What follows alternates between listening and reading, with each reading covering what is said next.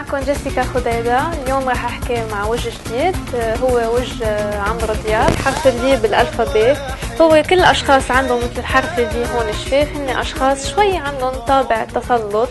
آه، بس الشيء الإيجابي اللي عندهم إياه معناتها بيقدروا يحكوا على جمهور قدام جمهور 100 شخص 200 شخص كل هالجمهور هال 100 شخص رح يسمع له.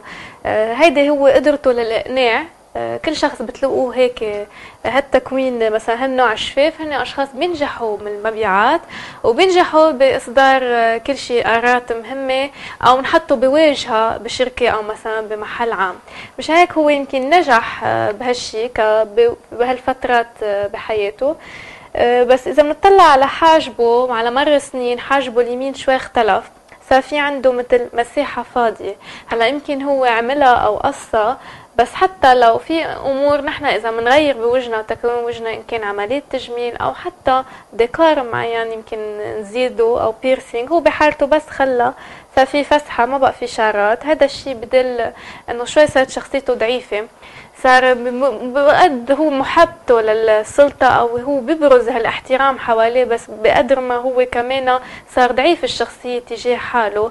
يمكن عنده يمكن يقدر يعطي قرارات مهمة لغيره أو يبرز بأمور مهمة بطريقة كتير جدية بس ينسى حاله. بمعنى أنه يمكن يكون شيء شخصي بس ما عم بيقدر هو يحصل شيء شخصي له شيء مادي بس بيقدر يحصل لغيره لأنه عنده هالقدرة الإقناع.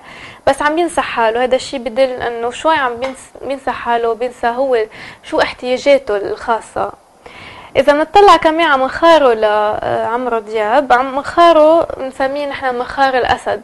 بالعلم الميانشا بمعنى مخار الأسد اللي هو كان شبيه شوي بأول طلعته للفنان مايكل جاكسون كان آه، هيك بهالفترة العظمة المخار كانت هيك بارزة وعنده آه، مساحة بمخاره من الطرف المخار. هذا الشيء بدل إنه شخص مبدع آه، شخص قوي قوي الشخصية. بقدرته يتحمل كل الصعوبات لأنه كمان حنكه لعمرو دياب كمان في عظمه بارزة. كل الاشخاص عظمتهم بارزة من تحت الحنك أو آه، تحت التم.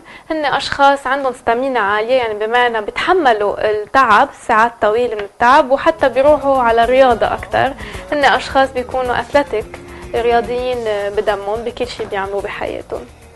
ميرسي